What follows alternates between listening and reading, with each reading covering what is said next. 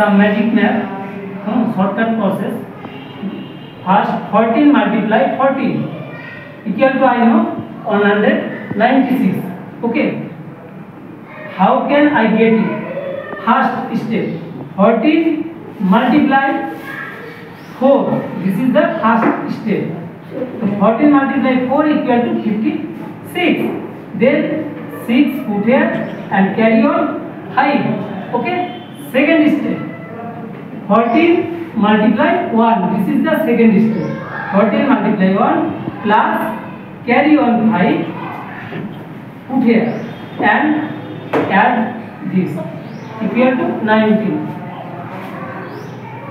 equal to put here 19 equal to 190 second one 25 multiply 15 first step 25 multiply 4 equal to 100 put 0 and carry on 10 after that second second process 25 multiply 5 25 multiply 5 plus carry on 10 put here after that I can get 135 and put here 5 carry on 13 hard method 25 multiply 1 25 multiply 1 Lora plus tahu dulu ya. carry on put here and Saya saya Lora.